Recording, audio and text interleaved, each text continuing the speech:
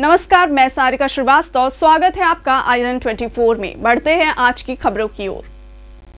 AIMIM के खासदार और राष्ट्रीय नेता बैरिस्टर असुद्दीन ओवैसी पर कल मेरठ और दिल्ली के बीच टोल नाके पर हुए गोलीबारी कांड के विरोध में आज संग्रामपुर में एमआईएम के तालुका कार्यकारिणी ने तहसील कार्यालय पर तहसीलदार के मार्फत राष्ट्रपति को निवेदन दिया, जिसमें मांग की गई कि जिन लोगों ने हमला किया, उनके मास्टरमाइंड को बेनकाब कर उसे सलाखों के पीछे डाला जाए और इस पूरे मामले की निष्पक्ष जाँच हो और बैरिस्टर असुद्दुद्दीन ओवैसी को जेड प्लस सुरक्षा दी जाए, ऐसा निवेदन में नमूद किया गया।